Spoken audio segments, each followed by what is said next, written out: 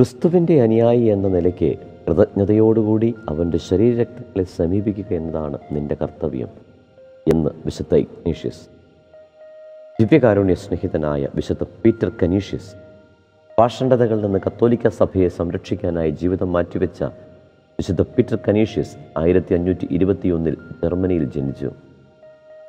ജർമ്മനിയുടെ രണ്ടാമത്തെ അപ്പസ്തൻ എന്നാണ് പീറ്റർ കനീഷ്യസ് അറിയപ്പെടുന്നത്. ബാല്യം മുതൽ തന്നെ ഭക്തി തീക്ഷ്ണതയിൽ വളർന്നു വന്ന പീറ്റർ പാഷണ്ഡതയെയും മതവിരോധത്തെയും അത്യധികം വെറുത്തിരുന്നു. അദ്ദേഹം ചെറുപ്പത്തിൽ ഈശ്വസഭയിൽ പ്രവേശിച്ച് വൈദികനായി.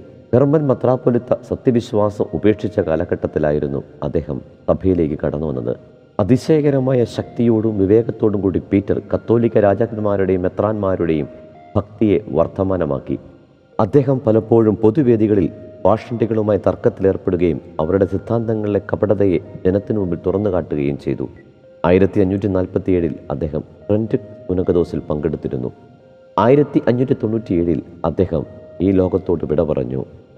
വിശ്വസിക്കുന്ന ഏവനും നശിച്ചു പോകാതെ നിത്യജീവൻ പ്രാപിക്കുന്നതിനു വേണ്ടി തന്റെ ഏകജാതനെ നൽകാൻ തക്കവിധം ദൈവലോകത്തെ അത്രമാത്രം സ്നേഹിച്ചു.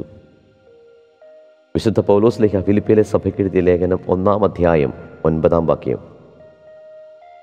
നിങ്ങളുടെ സ്നേഹം ജ്ഞാനത്തിലും എല്ലാ തരത്തിലുമുള്ള വിവേചന ശക്തിയിലും ഉത്തരോത്തരം വർദ്ധിച്ചു വരട്ടെ എന്ന് ഞാൻ പ്രാർത്ഥിക്കുന്നു. ദൈവമായി കർത്താവ് നമ്മെ അനുഗ്രഹിക്കട്ടെ.